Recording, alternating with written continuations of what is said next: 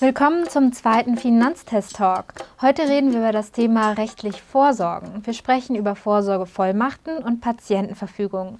Kurzum reden wir darüber, wie gesunde Menschen festlegen können, was mit ihnen passieren soll, falls sie mal in eine Lage geraten, in der sie selbst nicht mehr entscheiden können. Dazu habe ich Simone Weidner im Studio. Simone, schön, dass du da bist. Hallo. Ja, Simone ist Redakteurin im Team Recht und Versicherungen und Simone ist auch verantwortliche Redakteurin für die Finanztest Sonderhefte Vorsorgevollmacht und Patientenverfügung. Ja, Simone, sag doch mal, worum geht es eigentlich beim Thema Vorsorgen genau und warum ist es wichtig, sich damit auch schon in jungen Jahren auseinanderzusetzen? Ja, in der Vorsorgevollmacht geht es tatsächlich darum, etwas für die Zukunft zu regeln, nämlich genau um die Frage, die du angesprochen hast, was passiert, wenn ich in die Situation komme, nicht mehr selbst entscheiden zu können. Ähm, das, sind, das kann jede und jeden treffen. Oft passiert das krankheitsbedingt, vielleicht wegen einer Behinderung oder altersbedingt. Aber was junge Leute manchmal nicht so ganz im Blick haben, auch ein plötzlicher Unfall kann dazu führen, dass man wirklich vorübergehend oder auch dauerhaft im schlimmsten Fall tatsächlich nichts mehr regeln kann. Du hast ja jetzt schon so ein paar Sachen genannt, aber kannst du noch mal ein paar ganz konkrete Punkte nennen, was so eine Vorsorgevollmacht regelt? Mhm. Ja, es kann letzten Endes das ganze Leben mehr oder weniger dort geregelt werden. Ja? Es geht um ganz Alltägliches. Wer leert den Briefkasten? Wer kümmert sich um die Wohnung? Vielleicht gibt es ein Haustier. Es gibt vielleicht einen Versicherungsordner, wo Anträge gestellt werden müssen oder können. Ähm, mit der Krankenkasse muss vielleicht etwas geklärt werden neben dem wichtigen Punkt, wer spricht eigentlich mit Ärzten, wer ist befugt, auch mit den Ärzten zu sprechen. Und all diese Aufgaben können im Detail in der Vorsorgevollmacht schriftlich festgelegt werden. Okay, und jetzt mal andersrum gefragt, was kann man denn nicht in der Vorsorgevollmacht regeln? Ja, ein großer Punkt ist das Thema Finanzen. Ja? Oft muss, müssen ja auch finanzielle Angelegenheiten geklärt werden. Ja? Überweisungen getätigt oder gestoppt werden. Manche Kranken man muss Zuzahlungen leisten oder es sind, laufen Mahnbescheide auf. Ähm, all das ist, ist es natürlich gut, wenn eine Person längerfristig nicht mehr in der Lage ist, selbst sich zu kümmern, dass eine andere Person auch Kontozugriff hat. Ähm, das ist aber nicht so einfach mit diesem Dokument Vorsorgevollmacht. Die Banken akzeptieren dieses Dokument nicht. Also es reicht nicht, wenn dort steht, Maxi Musterfrau ist bevollmächtigt, ähm, über mein Konto zu verfügen.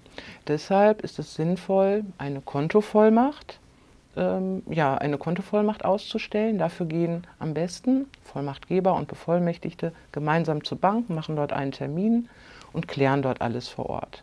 Jetzt gibt es natürlich auch, viele haben gar keine Filiale mehr vor Ort, die sind dann eher bei Direktbanken unterwegs. Auch die Direktbanken bieten so ein Kontovollmachtsformular an. Das kann man sich runterladen, unterschreiben und der Identitätsnachweis läuft dann wie ähm, im Online-Banking üblich über Postident oder auch Videoident. Das heißt, dem Bevollmächtigten kommt dann eine ganz schön vertrauenswürdige Aufgabe zu. Wer eignet sich denn dafür? Ja, das, ähm, das ist für viele oft ein, ein Problem. Wen soll ich jetzt eigentlich bevollmächtigen? Ähm, es gibt so ein paar, ich sag mal, Leitlinien. Es sollte eine Person des Vertrauens sein. Wir haben das ja gerade gesehen. Es sind wichtige Lebensbereiche, die ich dieser Person auch anvertraue. Und ähm, ja, dieser Mensch sollte sich auch selber natürlich in der Lage sehen, ähm, mit Ärzten zu sprechen, den Versicherungsordner sich zu schnappen, Formalitäten zu klären. Da ist ja auch nicht jede Person so wirklich für geeignet. Ähm, oft, erfahrungsgemäß, bevollmächtigen oft Ehepaare sich gegenseitig oder ihre erwachsenen Kinder, wenn sie vielleicht schon älter sind. Ähm, jüngere Leute bevollmächtigen manchmal ihre Eltern oder ihre Geschwister. Das kann aber auch die beste Freundin oder der Cousin oder der Nachbar sein.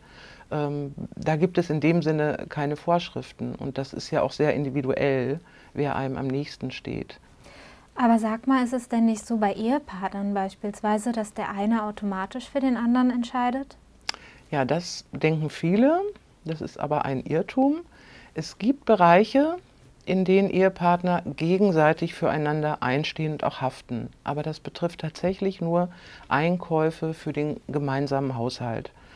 Oder sowas wie einen Stromlieferungsvertrag abschließen oder irgendwie die Einkäufe tätigen. Dann steht der eine für den anderen ein. Ja, puh, aber was passiert denn dann, wenn man keine Vorsorgevollmacht hat? Ja, dann zur Beruhigung, dann springt der Staat ein. Wir haben in diesem Land ist es so geregelt, dass dann das Betreuungsgericht einen Betreuer beauftragt oder eine Betreuerin, die dann die Be Vertreterin der Patientin oder auch des Patienten ist, der, der überhaupt den Alltag wieder auf die Reihe bekommen muss, damit sie im Interesse des Patienten dann auch Entscheidungen treffen.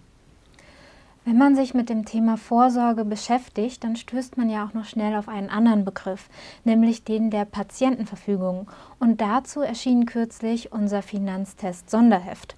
Das trägt den Untertitel Das wichtigste Regeln. Simone, was sind denn das aber eigentlich für wichtige Regelungen? Mhm.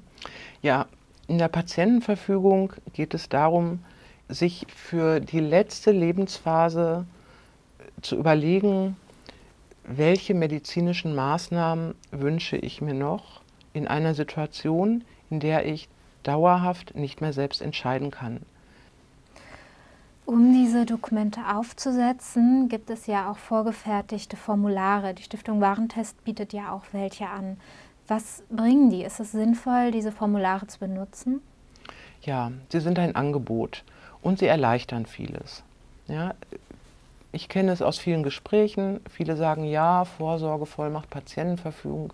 Ich weiß, ich müsste mich mal darum kümmern und das wird immer auf die lange Bank geschoben. Ähm, wer das dann gemacht hat, hat mir oft zurückgemeldet, meine Güte, das war eigentlich eine Sache von fünf bis zehn Minuten. Und die Vordrucke der Stiftung Warentest sind auch sehr einfach gestaltet. Es sind Ankreuzformulare, ja, man kreuzt dann eben an, möchte ich, dass der Bevollmächtigte sich um meine Gesundheit kümmert, um meine Finanzen, um mein Vermögen, um Behörden und so weiter. Unterschreibt es und mit Datum ist das Ganze schon gültig. Es ist ein sehr einfacher Zugang. Es bleibt allen freigestellt, selber etwas zu verfassen, mit an, dieses Dokument mit anderen Formularen zu vergleichen. Ich sage es nur als Hinweis, das Bundesjustizministerium bietet auch kostenlos auf der Website Textbausteine zum Erstellen solcher Dokumente an. Ärztekammern bieten was an.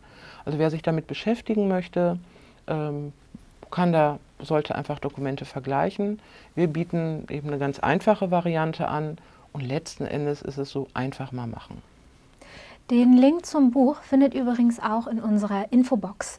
Und wenn ihr die Dokumente dann ausgefüllt habt, gibt es die Möglichkeit, die für 13 Euro bei der Bundesnotarkammer registrieren zu lassen. Simone, ist das sinnvoll oder kann man sich das Geld sparen?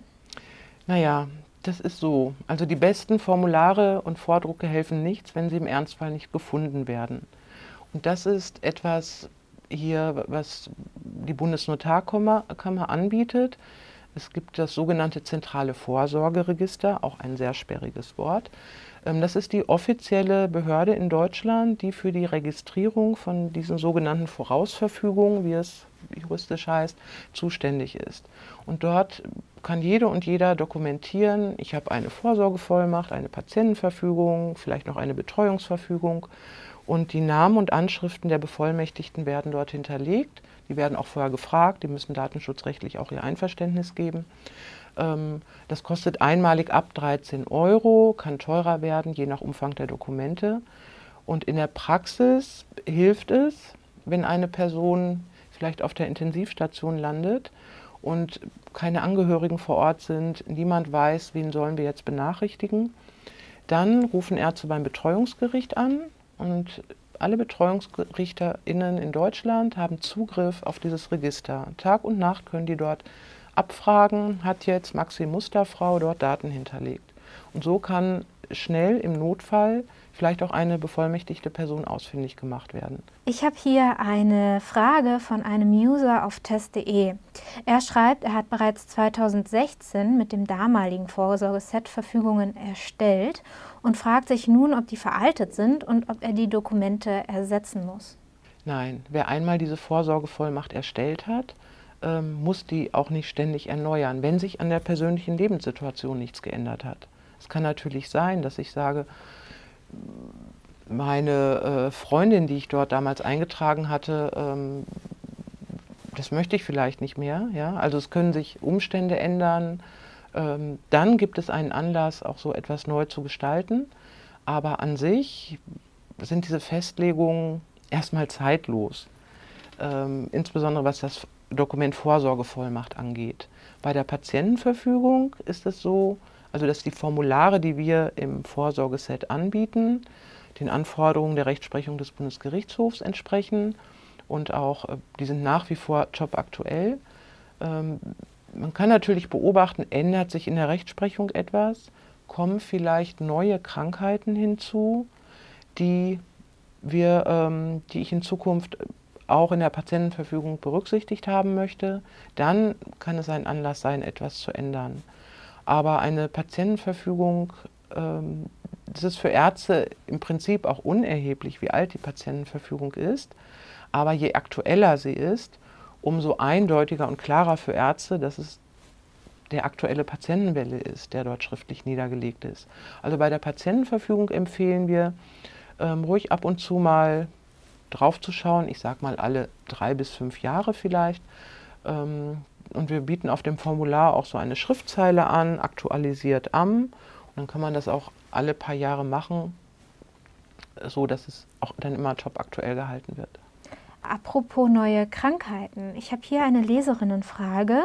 Und zwar schreibt sie, sie hat vor fünf Jahren eine Patientenverfügung ausgefüllt und sie hat darin eine künstliche Beatmung abgelehnt.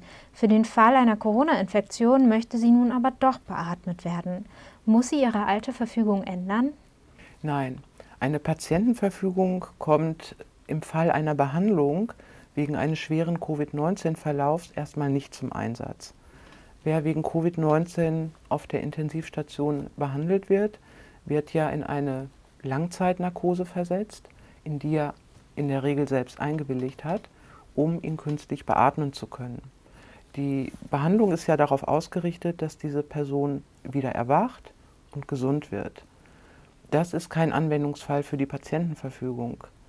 Es kann natürlich sein, dass sich im Verlauf so einer Behandlung herausstellt, dass das Behandlungsziel, nämlich Wiedererwachen, Gesundung, nicht erreicht wird. Dann kann es zur Anwendung der Patientenverfügung kommen, aber auch erst dann, wenn feststeht, eine Wiedererlangung des Bewusstseins ist aller Voraussicht nach ausgeschlossen. Das heißt, eine Patientenverfügung ist für eine spezielle Krankheitssituation, nämlich wirklich am Lebensende, und eine Langzeitnarkose ist erstmal kein Anwendungsfall für die Patientenverfügung. Kann man denn grundsätzlich auch seine Meinung ändern, wenn man plötzlich krank wird? Ja, natürlich. Die Ärzte brauchen dieses schriftliche Dokument Patientenverfügung sehr, sehr selten. Es geht, solange ein Patient, eine Patientin sich noch in irgendeiner Form selbst äußern kann, legen Ärzte Wert auf diesen persönlich geäußerten Willen. Selbst wenn eine Person nicht mehr sprechen kann, kann sie vielleicht noch den Kopf schütteln oder nicken oder mit der Hand winken oder irgendein Signal geben, ähm, ob sie damit einverstanden ist. Also die schriftlich zugrunde liegende Patientenverfügung ist für eine Behandlung wirklich erst das allerletzte Mittel. Und dann zum Thema Vorsorgevollmacht fragen mehrere Leser hier, ob ähm, sie auch mehrere Personen bevollmächtigen können. Ja, das ist möglich. Jede und jeder kann die Vorsorge wirklich völlig frei gestalten. Das Formular der Stiftung Warentest sieht jetzt erstmal nur die Bevollmächtigung einer Person vor. Das heißt, in dieses Dokument wird, auf diesem Vordruck wird eine Person eingetragen, ähm, die damit auch losziehen kann und tatsächlich dann Entscheidungen treffen kann und mit allen sprechen kann. Ähm, wer zwei bevollmächtigen möchte, sollte dann ein zweites Dokument ausfüllen. Ja, so dann ist jede bevollmächtigte Person für sich handlungsfähig. Ähm, das kann man natürlich auch weiter treiben. Das, ja, man kann auch drei oder vier bevollmächtigen. Aber Achtung, bewahren ein bisschen davor, ähm, sich vorzustellen, dass zwei Personen gleichzeitig mit einer Vorsorgevollmacht unterwegs sind, kann auch zu Konflikten führen. Es kann auch zu Rechtsstreiten führen. Manche Fälle landen dann vor Gericht. Gut ist es, vielleicht etwas zu priorisieren. Ja, es gibt dann ein Zusatzdokument, das nennen wir Innenverhältnisregelung, wo zum Beispiel festgelegt werden kann, ah, Bevollmächtigte 1, also ich sage mal jetzt meine Schwester, soll als erste Person handeln. Erst wenn sie nicht mehr kann oder Unterstützung wünscht, soll noch ja, mein Cousin einspringen oder meine Mutter. Das kann man alles festlegen. Es gibt, wer, es gibt natürlich auch manchmal kompliziertere Familienverhältnisse, ähm, wo es schon auch mal sinnvoll sein kann, sich rechtlich beraten zu lassen, wie man das am besten gestaltet. Ähm, also da kann man durchaus auch mal zu Fachanwälten gehen für Erbrecht, Familienrecht oder auch zum Notar. Dann habe ich hier eine E-Mail von einem Leser, der seine Patientenverfügung ausgefüllt hat und ähm, er schreibt, dass er sich jetzt Sorgen macht, das Dokument nicht richtig verstanden zu haben. Gibt es da Ausfüllhilfen? Mhm. Ja, wir bieten zum einen in dem Ratgeber ja auch eine Anleitung an, aber tatsächlich muss ich sagen, ist so eine Patientenverfügung nicht so ganz einfach zu verstehen. Damit Ärzte damit etwas anfangen können, müssen die medizinisch richtigen Begriffe dort drin sein. Also Laien fühlen sich schnell überfordert. Wenn man so und wir empfehlen, sich unbedingt an Ärzte zu wenden. Also Hausärzte sind erstmal die nächsten Ansprechpartner. Das kann aber auch der Facharzt sein, bei dem eine Person wegen einer schweren Erkrankung schon längst in Behandlung ist. Also Ärzte unterstützen da auch, beraten auch. Ein kleiner Nachteil, eine wirklich offizielle Beratung durch einen Hausarzt zur rechtlichen Vorsorge ist keine Kassenleistung. Wir wissen es, dass viele Ärzte das einfach mit integrieren in die Sprechstunde oder mit, mit anbieten, kostenlos. Manche nehmen dafür Geld. Die Ärztekammern empfehlen für eine 30-minütige Beratung eine Gebühr von 61 Euro. Ja, nicht nur Ärzte beraten, ähm, es gibt auch weitere Hilfsangebote, beispielsweise von den Verbraucherzentralen. Ähm, die, manche Verbraucherzentralen bieten spezielle Sprechstunden für die Patientenverfügung und die Vorsorgevollmacht an. Ähm, also das sind sicherlich in einigen Städten ganz gute Ansprechpartner. Ähm, auch Betreuungsbehörden können Ansprechpartner sein. Ja, vielen Dank für deine Antworten, Simone. Und wenn ihr jetzt noch Fragen habt, dann schreibt sie doch gerne in die Kommentare. Unsere Experten werden sie dort für euch beantworten. Dann geht es auch bald weiter mit Finanztest Talk und zwar reden wir in der nächsten Folge über Versicherungen, über sinnvolle und auch über sinnlose Tarife. Bis dahin auf jeden Fall vielen Dank fürs Zuschauen und bis bald beim Finanztest Talk.